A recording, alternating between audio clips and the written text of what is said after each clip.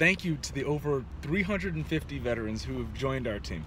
I hope to earn the trust of all my fellow veterans here in Michigan, um, I've released my guiding principles on veterans issues today, and uh, this is something that's really, really personal for me, and I know for a lot of you out there.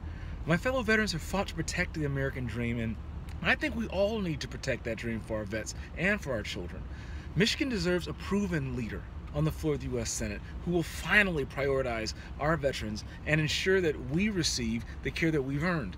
Senator Stabenow was recently caught on tape admitting that she had not been focused on our issues and, and focused on the issues facing our veterans and, and not aware that many of us are in crisis. This is unacceptable. The Vietnam War officially ended the year Debbie Stabenow took office.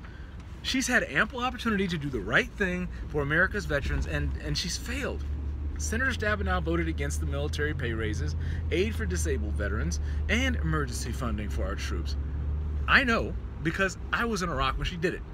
So do me a favor, click the link, check out my guiding principles, and join our movement.